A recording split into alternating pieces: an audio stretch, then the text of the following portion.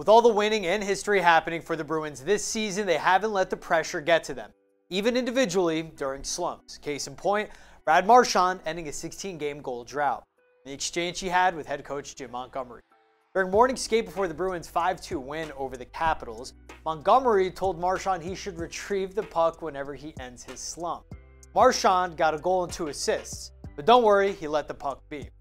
But when asked after about his coach's chirp, Marchand's response was, quote, he told me that in practice this morning when I scored, but I don't know how many goals he's got in the NHL, end quote.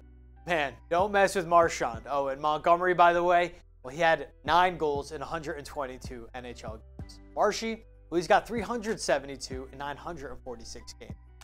That back and forth publicly shows just how well this locker room is getting along and how much fun they're having.